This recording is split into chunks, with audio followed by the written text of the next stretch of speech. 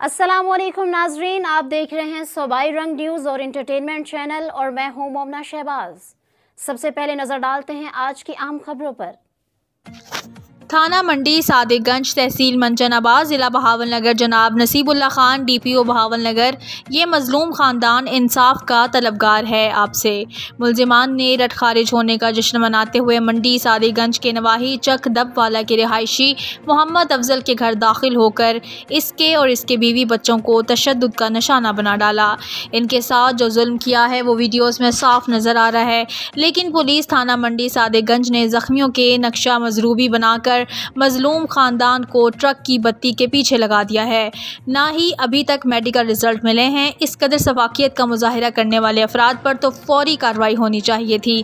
D P O Bahawal Nagar इस वाक़े पर फौरी कानूनी कार्रवाई को यकीनी बनाएँ ताकि मजलूम ख़ानदान के साथ हुई ज़्यादती का कुछ तो अजाला हो सके।